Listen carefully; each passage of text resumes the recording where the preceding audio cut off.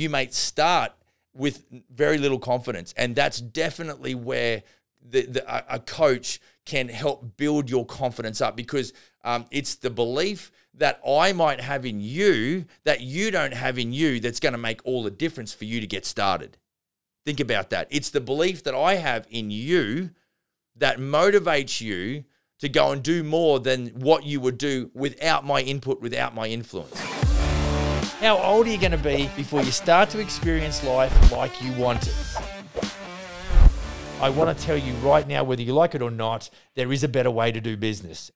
Hi, everyone. Welcome to the Business for Builders podcast. Welcome to you if you're in YouTube land. Uh, my name's Max. I'm your host. I'm the CEO at Smith and Sons uh, here in Canada and uh, it's great to have you with us. Uh, as usual, like and subscribe, all that kind of good stuff, and uh, uh feel free to leave some comments in uh, the comment section below, and I will uh, I will return serve and help you out where I can. Also, feel free to hit me up on email, max at businessforbuilders.ca. And hit me up with a question there. Keep it keep it to maybe one question per email or thereabouts and I will do my darndest to get back to you in uh, in really quick time. Don't forget our uh, business for builders VIP Facebook group. Get across there if you're a good sort. I'll let you in, and uh, you know hopefully we can uh, build a good community of general contractors and subcontractors if you like.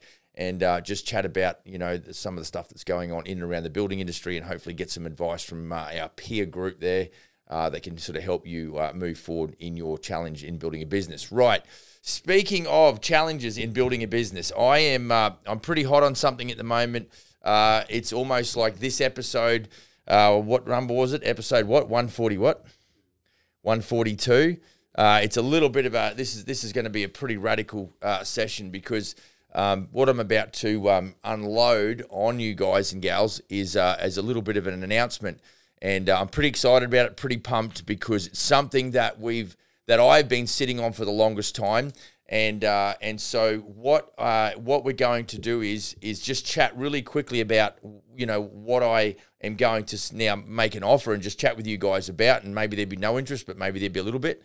Um, but really, what I want to let you guys let my audience know is that um, everything that we we do in the franchise world as it relates to leading and growing general contractors, I am now going to offer to our general, our global uh, general contracting and subcontracting. But remember, we're mostly builders community. So we've just given our uh, say our training uh, and coaching system within the franchise uh, uh, group uh, an overhaul.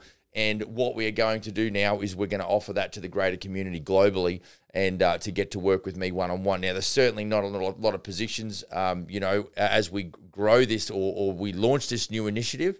Um, there's only there's very limited seats to be honest. So um, you know, I really want you to if you've if you've got some understanding that you've got some gaps and some deficiencies in your business, and you think you can benefit from working with with a business coach, someone like myself, then I would love to try and help you. Obviously, this is going there is going to be a fee for service, um, but I would love to think that I can add massive value to your building company in your situation here, and I'm really looking forward to doing that. So, um, just straight out of the get go, if you if you want to uh, just give me an expression of interest, max at businessforbuilders.ca and uh, we'll we'll get started on the email. Like I said, it's first come first served because I really have limited seats at the table.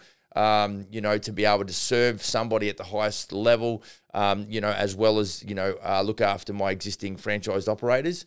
Um, but we're really pumped about being able to roll this out, and so we we can just we can just converse more on email. So, ironically, what I'm going to do to support that little bit of a pitch is to uh, you know talk about what are some of the basics that you can expect from a business coach, just to give you some clarity and some understanding and to help you sort of ascertain whether or not there's there's some benefit there with even reaching out uh, to yours truly and uh, and just discussing you know what what's uh, what's up with business coaching. So pretty pumped, you know, because we've we've worked on a new system and a new coaching methodology uh, within within uh, Smithies that we're going to roll out here in Canada, and uh, we're certainly going to go and uh, we're going to go and chat with uh, our audience because there's I've just got dozens and dozens and dozens of emails that really uh, you know show great interest in hey Max, can you coach me? It's just flat out that simple.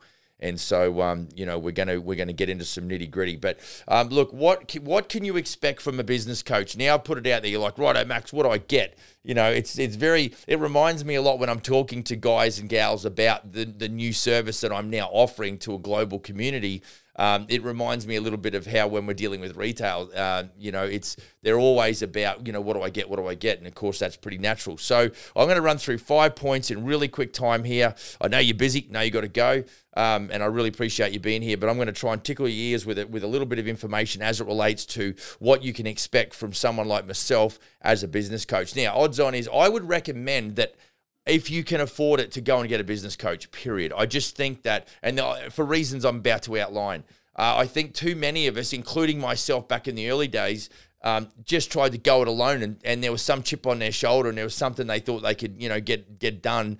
Um, and they what they didn't know is I didn't know what I didn't know, and it's it's just from falling over, and then you do it for enough years, like a decade, and you look over your shoulder, and you're like, geez, it would have been nice to have somebody tell me what to avoid, what to do, what not to do. And so, you know, it doesn't matter whether you're a CEO, you kind of need a coach. You need someone that's going to tell you, or if you've got access to someone that can help you, then you would expect that person to probably give you some insight. That's the upside because they can save you a lot of pain. I got six kids, and I know that I'm talking to those guys about, hey, good decision equals good outcomes, bad decisions, bad outcomes. And so when they're going through stuff, I fully expect them to fall on their knees and, and you know, take a bit of skin off. But at the end of the day, if I can give them a little bit of context on how to do something in advance, there's going to be a lot of their learning curve will be uh, a little more pleasant uh, and will be in a shorter amount of time. And I think that's my that's that's what I have an obligation to do for my kids. That's what I would call being a, a, a reasonably good dad uh, is to really just try and not do it for them, but also but but but try and help them and assist them and support them in some capacity. And I think that's really what my heart is, at, you know, putting it out there as a business coach because uh, too often we just try and blaze trails, and there's people that are very close to us that could actually help us, but they don't speak into our lives and they don't give us the support and they don't give us the insight and they don't give us the hand up maybe that we need. Uh, and and sometimes it's because we don't put our hand up and we don't ask for help. So um, let's get through these really quick. I think my kids sent me a meme too. They said um, they they uh, I don't know. Maybe we'll post that meme, the one where you said, you know, forty minutes into the podcast, we go right, let's get started. Um, and that's what I feel like today. So anyway, well, I don't think we've, we're, we're seven minutes in, so eight minutes in. Okay, so what to expect from a business coach? So this is going to be really broad, really quick. I want you to email me if you've got any interest in uh, participating, you know, in the launch of uh, the coaching program that is outside of Smith and Sons, that's outside of Business for Builders. It's something that's completely separate, um, and and it's really a great system that that uh, that has been developed and that we're going to uh, we're going to utilize going forward. Okay, first thing you can expect from a uh, now I don't know that every business coach has is a gangster. You know, I don't know that every business coach that's out there um, I, I, think there's some pretty average business coaches. Um, to be honest, I only know a few, and the ones that I do know are actually pretty cool. Um, and so this is why I'm sort of you know getting amongst it because I'm already coaching general contractors, and I'm thinking, well, okay, there's got to be some opportunity there, and I might be able to help some people. Um, but not all business coaches, I don't believe, would come to the table with a level of conviction, a level of passion, a level of experience, even. And I know that a lot of the business coaches I know are very much in the construction industry, um, and they're good because they they they double down on that niche, you know, on that niche. That they really focus in on helping general contractors. So, you know, really, I am am going to do very similar to that. I am going to focus on the the contracting world. So, um, yeah. So this is what I'm going to try and bring to the table. So, first point: enhanced clarity and vision. And so, you know, there's nothing worse, you know, than uh, what can I use as a bit of an example? But you know, you, you, I used to have old pickup trucks, and they had really sketchy H4 bulbs, and the headlights were pretty shitty. And and it was nothing worse than when you'd flick on the high beam and you go, wow, that didn't make much difference. And so, you know, to have the the kind of enhanced clarity and vision, it's like going from an H4 uh, bulb up to an LED, and all of a sudden the road lights up, and all of a sudden you can see properly. And so I think a lot of the time, you know, for me personally, what I wanted to, what I want to do is to be able to um, bring uh, a clarity, bring uh, your ability to be able to see what you're doing in your business and what is the potential for your business to be able to sort of go and set goals that you're really satisfied that you think, hey, I've got a really good chance of achieving this. And so, you know, for a leader, you know, for a leader, it's very hard. If you call yourself a leader, it's pretty hard to lead somebody somewhere where you haven't been. And so I feel like as a 50 year old, been in the construction game for nearly 34 years, or actually 34 years last month, you know, it's it's it's it's time for me to be able to um, maybe put something out there that's different, go into a you know a, a, different angle, and really help a greater community that's not just inside of Smith and Sons. I think I've just got too much to give to limit it, um, you know, to one one company. So um, I believe that based on wh- what I've done in my life, I can any of the new guys coming through uh, I can I can definitely add some clarity and some vision to your you know if you're starting out or if you've been in it and you're a little bit jaded for 15 years you're like time out. I need another set of eyeballs on my business to help me get this thing going again because it, it's just it, it just doesn't seem to be changing. And so that's a, a, big part of the the advantage of having a business coach because someone like me will come and look at either one of my general contractors business or your business and there's no emotion there. I'm not tied to that you know and so what i can do is really objectively look at the, the components look at the profit and loss look at how you're doing your marketing look at your sales processes look what's not you know documented as far as you know your accountability procedures like look at all of that and be able to go hey we've got no structure here or hey your your your your marketing message is too much right hook. There's no value add. You've got to do some more content marketing, things like that. And all of a sudden, I'll tell you what you'll get is, and I've had this, it's like you'll have this aha moment. It's like, I never thought about it that way. And that's the power where you've got another set of eyeballs coming in and that's and then that's a positive okay point number two so first one was enhanced clarity and, and vision second one is expert guidance and experience and i guess that's what it comes down to uh, I, you know, I know Gary Vee was was chatting on a, on, a, on one of his podcasts recently about 19 year old life coaches. It's he reckons it's hilarious, and I probably concur. Um, and so what we're talking about is expert. So having been in and around the building industry, have having built a multi-million dollar uh, franchise group here in in Canada from from from ground zero, um, and and and having experience in the building game, those components have now built into a situation whereby if I was to come on a line like I'm doing and offer services as a business coach, I think I can be that expert guidance and experience. And so that's what you need in your business coach if you're looking for one. Okay, point number three personalized support and accountability. Um, this really resonates with me because you know it's it's essentially what it's, it's the quintessential uh, reason a coach is there is for for personalized support but also accountability. So it's like hey what can i do to help you get to the next level? What can i help you to to do to develop? Uh, and then of course if you you know if, if we go okay i want to go here and i go right these are the steps to get there um, the the accountability is, is where we come in alongside and go, okay, did you do the work that you needed to do this week? I know for me um, that I meet with my business coach uh, once a week minimum, and so if it's good enough for me, uh, I would suggest that there's probably it's highly likely that it should be good enough for you as well. So um, you know, I need to, I need to not just uh, if I don't have any of that accountability and, and I don't and I'm not able to give an account as to my activities for last week, then what I'm doing is I'm starting to run off course. And so it's that other person who can give me the unemotional, uh, objective view on what it is my actions are. Because what happens is where builders are classics of this. They'll they'll say a, they'll talk a big game, and then their actions will map off the track and they're wondering why they're failing. They're wondering why their business is in a nosedive. They're wondering why they can't keep good people. They're wondering why um, that they're not making profits on their jobs. They're wondering why subcontractors don't want to work for them. And, and that's that is really where you lack self awareness. So you need to come in and say, if you say, "Yep, I'm going to be accountable, Max," well, be bloody accountable. Put yourself out there and go. I feel like if I put this out to Max, I'm going to be exposed. Yep, that's the idea. Because if I can expose your weakness, then what that's going to do is that that's actually going to make you stronger. But we don't want to go and throw down and go, actually, I, in this area, I feel really weak. In this area, this is not my favorite position. This is not my favorite place to be. I don't like doing sales or I don't like doing estimating. See, what you want to do is you want to make sure that every aspect of, of your race car is in tip-top condition. There's no point in having a, you know, a 750 horsepower, uh, you know, Coyote V8 up the front when you've got no suspension components to carry it, or your tires suck and there's there's canvas and there's steel hanging out of your tire. Like you've got to have all of the components within your business, your race car, uh, all perfectly uh, in alignment and also really organized and nice, neat and tidy and nice and new uh, and all accounted for. And so uh, that's a big deal. So you get, and that personalized support, because this is what I've talked about on this show before, is that, you know, I can talk really macro to certain subject matter, but because we're all different types of human beings, I can't be specific. So I can't give you that personalized, customized support because what I say to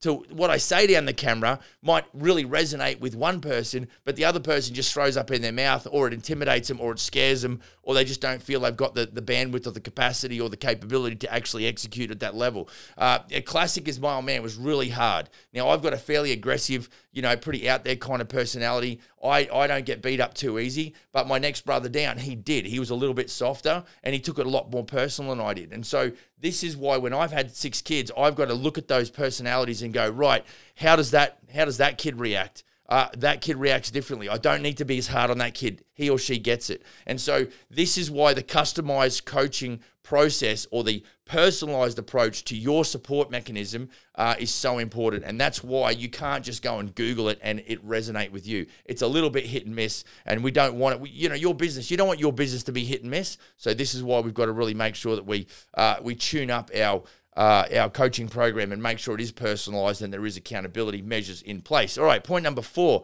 Uh, a business, uh, what you can expect from a business coach. You should expect that uh, there will be some skill development and growth within that program. So understand this: you, you, you don't go to the gym and you, you don't you know, just curl the bar. You know, you put some weight on because we know that weight or resistance builds muscle mass. So in the growing process, yep, we all want to grow. Yep, we all, all want to be, you know, uh, assassins as it relates to general contracting. But the problem is that we, we don't like the pain. And we've all heard the analogy, no pain, no gain. So we, we really got to reconcile the fact that if we want, you know, if we if we, we desire to have our skills increase or developed, and we do want to increase our growth and our capacity, then it's it's through those painful moments in the gym, let's call it, whereby your capacity will be enlarged, whereby your ability to lift more weight uh, will be obvious, where your business will start to look more attractive on the profit and loss, where um, you know you'll be able to sort of have enough operational capital to be able to maybe buy that you know that new vehicle or to be able to go on a holiday where the company's paying you a dividend, all that kind of good stuff. And so we all want that, but we've got to actually be disciplined in our approach and and really, you know, if you want to launch a new business or you want to, you know, relaunch your business, then you've got to have a very clinical, scientific uh, attitude towards that methodology because it's we are so construction and we you know we get our you know hammers out and our, our skill saws and we just cut and shut and, and do the whole framing thing or what have you. But when it comes to business it's in a different world. It's in a di- different stratosphere um, and that's something that takes a little while for to get our heads around so um, we we all crave the you know we want to improve our skills and we want to grow our business but we've got to understand that there is a time period and this is the other thing too patience to go with that development and that growth. You've got to have some patience because uh, if we could all change overnight, the world would actually be a better place. Uh, so it's it's it's just something that is an organic process and happens over time. So skill development, you should be expecting to see something happening, you know, three to six months in, and you start to have those aha moments where your skills are improving, and then growth personally um, and as a leader, as well as you know looking at your business and you know maybe you're bringing on some team, maybe you're taking on bigger jobs. I was talking to one of my guys yesterday, and 12 months. I said, "How, how do you think you've grown in 12 months?" He said, "Massively." He says, "I you know I would just take any jobs before I got with Smith and Sons, and now I'm the minimum size job I want's 150 grand." It's just like his his understanding of his own capabilities and his development process because he's a very good student in the business. Um, you know, he's he's developing a business now that is on its way. And so it's pretty exciting. So the last thing here, number five, and it, this is really a, almost a byproduct, this number five, it's increased confidence and resilience. You know, I think that depending on your personality, uh, you may start with very little confidence. And that's definitely where the, the, a coach can help build your confidence up because um, it's the belief that I might have in you that you don't have in you that's going to make all the difference for you to get started.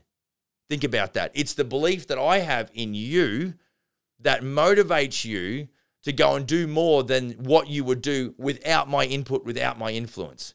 And that that's something that that could that could change your world because you're like, okay, so there's a there's a bit of an element where there's trust, and it's like, okay, so I'm going to do everything Max says, and I'm going to believe everything he says, and I'm going to be a good student. I'm going to be accountable, and I'm going to go to the gym all the time, and I'm going to work this business. And it, and then over time, what happens is your confidence it grows because you start to get it. You have that aha moment. You're like, okay, I feel good. This this association between me and my business coach, it feels good. It's it's adding value. You know, in life, we're either we're either attractive or we're repellent you know and so some people's attitudes and their demeanors is very repellent it's like ooh i don't want to be around that dude um, what we want to be is attractive personalities so that goes across the board. As a boss it goes as a, as a salesperson when you're talking to new clients with your subcontractors and your vendors you want to be a likable kind of person. Don't want to be pushed around but it's that it's that confidence that you exude that really does help build your business reputation in the area that you are. Now, if you're someone like me that might have already had some confidence, the, the way that I look at it when I get my coaching, um, it's it's because I want I want confirmation that I'm on the right track. Like you know, I'm like I'm like a Rottweiler. It's kind of like I I just want to know that I'm eating this up properly and and it just spurs me on to do more. And so you know that's the power of coaching for me. Uh, it gives me increased confidence, and that gets me started. And then over time, because you're you're running, you've got a running mate or you've got a sparring partner, i.e., your coach. Um, that really will help you become resilient. Resilience is not something that you just you know get on the on the on the phone and order. It's something that happens over a matter of time, and you only really know whether or not you're resilient when something catastrophic happens in your business and I've been there and, and it's it's not fun. But I'm telling you, you when you look at yourself in the mirror and you go, if it is to be, it is up to me. Everything that I do today is helping me incrementally move forward and helping me to achieve my dreams and goals. But it just seems like the process is so darn slow. And so, you know, the resilience component, you know, is certainly something that's built into you over time. And look, just, you know, I, I guess my my closing note might be that we've really got to come up with the reasons why. You know, for me, there's there's you know I've got a whole bunch of things. I've got I've got very selfish reasons why I want to build business, and I've got some very um, you know some very uh, I guess sort of personal things that mean a lot to me that I want to give to my family. And uh, you know, make sure that legacy that's a big one for me as well. I was only talking to my daughter yesterday, and I'm saying my kids, kids, and their kids can actually go and see you know old Grandpa Peterson banging on about business and contracting, and I just think that'd be awesome. And so, you know, those are the you've got to figure out what it is. You got to really determine what your why is. And I mean, Simon Sinek wrote a book, and I got the audio book and the hard copy. Um, and it's it's really important to to really you know figure out um, why it is that you do what you do. And, and so, you know, you're going to have some corporate type goals, you know, where in the business we want, we're setting high standards in construction services. That's essentially what we want to do. Uh, we want to give clients peace of mind and security and satisfaction. And, and, and so that's what you might have as your, you know, business mission and, and purpose.